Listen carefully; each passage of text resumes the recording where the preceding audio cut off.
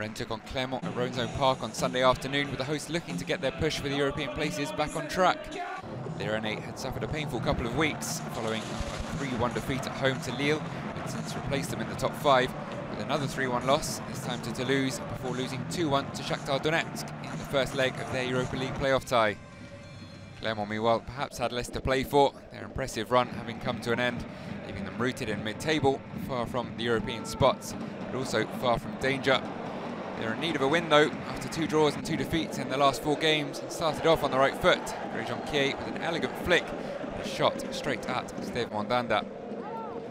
Hosts improved as the first half wore on, deservedly found the breakthrough eight minutes before half-time, albeit with the help of a lucky deflection. Lovro did well to thread a neat ball into the path of Arnaud Kalimuendo. The striker saw his effort loop up over Mory Diaw.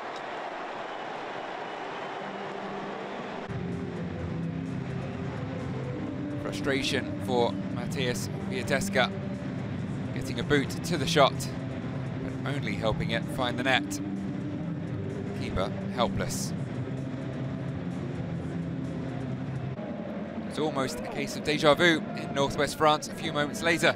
The ball breaking to Kalimuendo, and again his shot deflected goalwards. This time Diaw doing excellently to get down quickly to his right.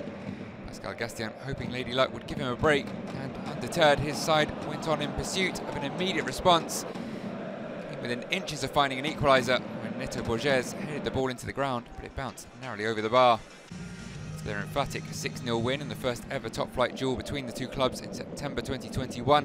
And had surprisingly lost the next two, so determined to bounce back in this fixture as well as the league in general. And they made their lead twice as comfortable in the 65th minute. Karl Toko Ekambi's shot was parried into the path of Kalimuendo. With the easy task turning home into an empty net to double his tally for the afternoon. Two goals down, having failed to find the net in four consecutive league matches. Comeback always seemed unlikely for Clermont. That didn't stop them trying, but sometimes it's just not your day, and that certainly seemed to be the case, as Muhammed Cham was denied combination of Mandanda and the post. Down the other end, Clermont did finally catch a break of sorts. Adrien Truffert's low shot, well saved again by Diaw, this time Wieteska there to prevent an easy goal on the rebound for Amine Gouiri.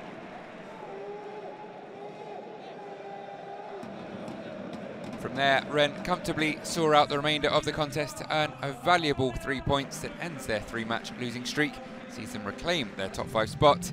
Clermont remain 12th, but have now gone five league matches without a win.